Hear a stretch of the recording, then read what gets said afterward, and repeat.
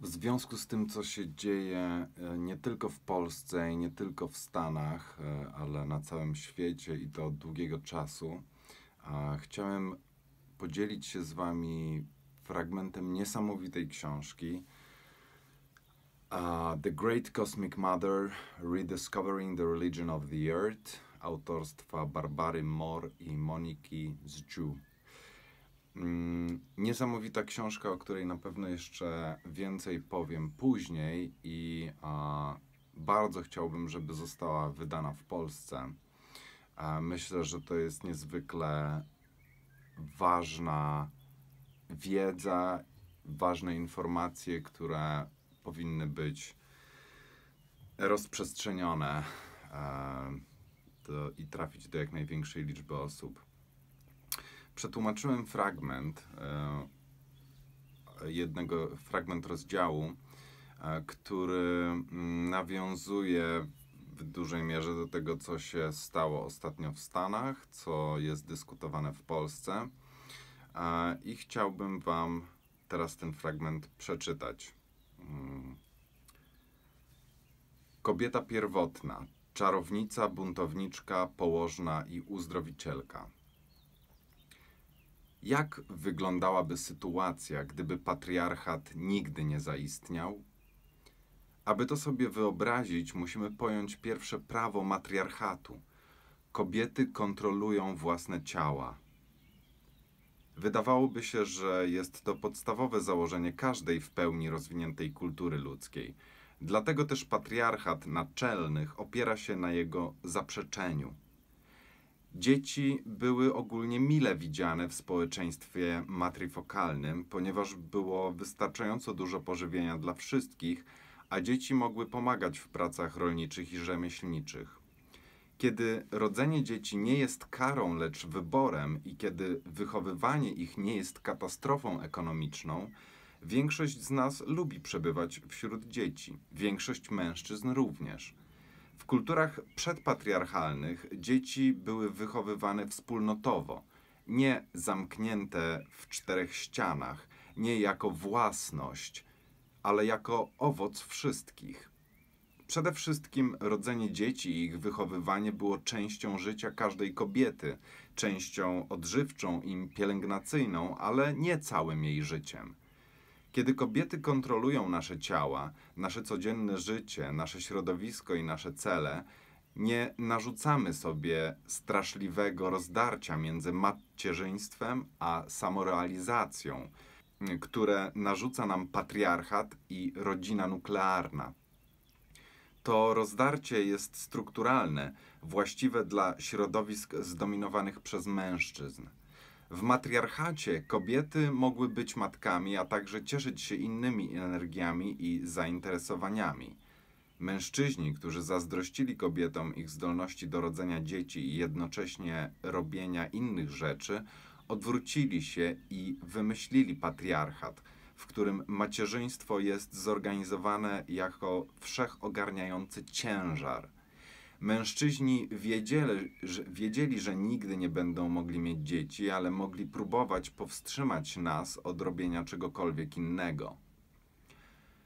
Ale kobiety nie zawsze chcą mieć dzieci z wielu powodów, o których najlepiej decydują same kobiety. Dlatego w kulturach matrystycznych, matriarchalnych, stosowano wiele magicznych rytuałów i technik, które przyczyniały się do kontroli płodności kobiety zawsze znały ziołowe środki antykoncepcyjne i aborcyjne, a także środki odurzające i rozluźniające mięśnie, jak herbata malinowa, które mogły ułatwić poród. Kiedy kobiety sprawują naturalną kontrolę nad własną płodnością, populacja zawsze pozostaje w praktycznym związku z potrzebami grupy i zasobnością środowiska. W końcu o to właśnie chodzi. Od niepamiętnych czasów, od początku istnienia ludzkości, sztuki ginekologii, położnictwa i holistycznego leczenia ziołami, w tym kontrola urodzeń, były całkowicie kobiecymi domenami, strzeżonymi przez kobiety neandertalskie, kobiety kromagnon, kobiety neolityczne i kapłanki wielkiej bogini. Antykoncepcja i aborcja mogą stać się nielegalne tylko wtedy, gdy w patriarchalnym społeczeństwie klasowym Kościół i państwo określają je tak dla własnych celów. A jakie są ich cele?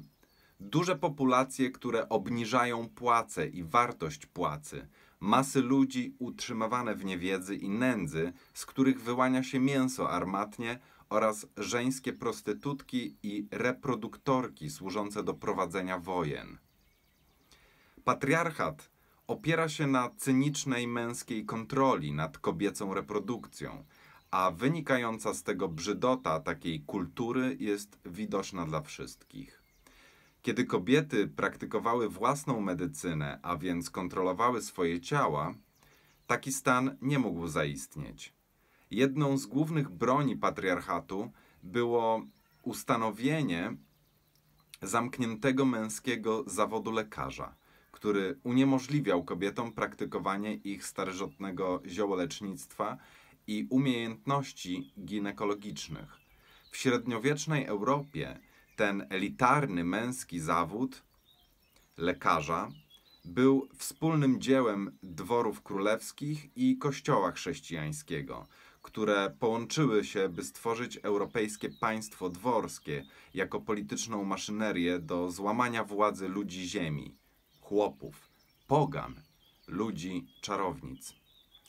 Ponieważ kobiety cenią sobie jakość życia swoich dzieci, na przestrzeni dziejów robiły co mogły, aby utrzymać populację w, w równowadze ze środowiskiem. Jedną z metod jest antykoncepcja ziołowa i mechaniczna, inną aborcja. Kobiety plemienne na całym świecie karmiły swoje dzieci przez 4 lata, a w tym czasie nie mogły utrzymywać stosunków seksualnych z mężczyzną. Stosując takie metody, Kobiety plemienne w okresie reprodukcyjnym rodziły średnio czworo dzieci, a każde z nich otrzymywało maksymalnie intensywną matczyną opiekę fizyczną i emocjonalną w krytycznych pierwszych latach życia.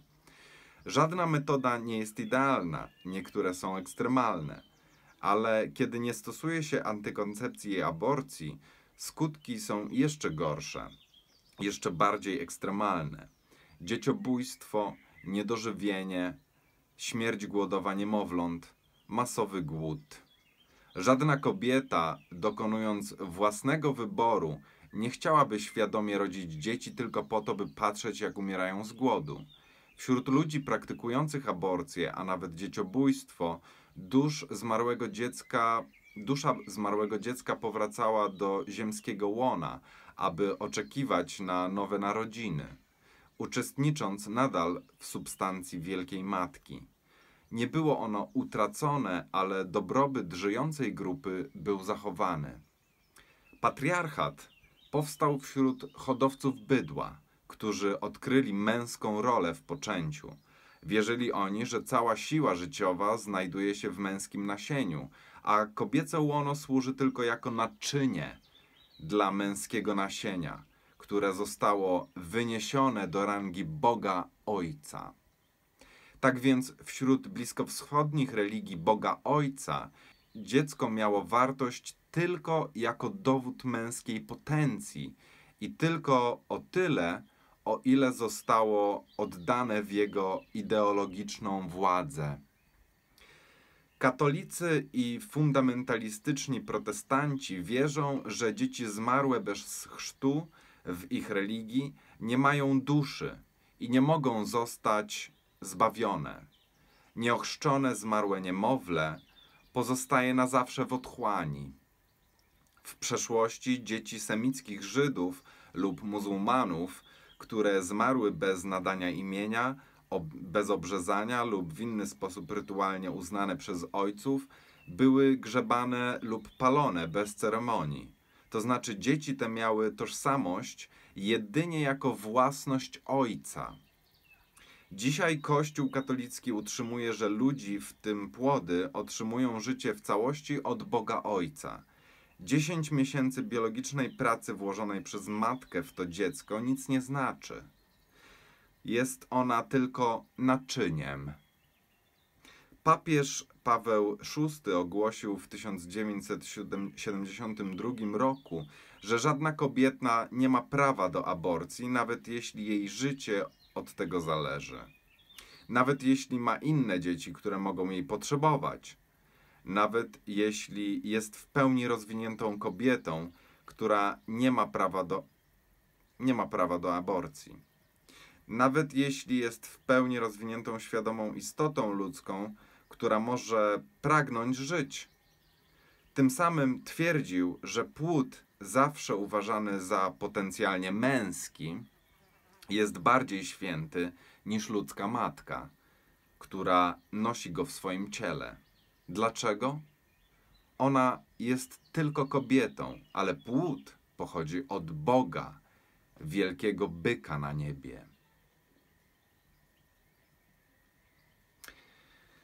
To jest fragment niesamowitej książki The Great Cosmic Mother Rediscovering the Religion of the Earth autorstwa Barbary Moore i Monique Ju, wydanej w roku 1987. Jest dostępna online po angielsku jako PDF, możecie ją wyszukać. E, jest, zdaje się, na archive.org.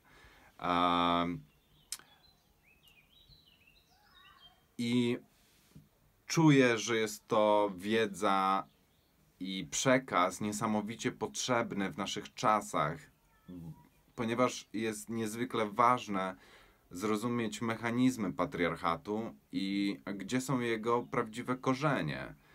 Myślę, że trudno jest rozwiązać czy stawić czoło różnym a, a, e, problemom, powiedzmy, zagadnieniom a, w dzisiaj, dzisiejszych czasów bez faktycznego rozpoznania korzeni i daleko sięgających przyczyn tych problemów.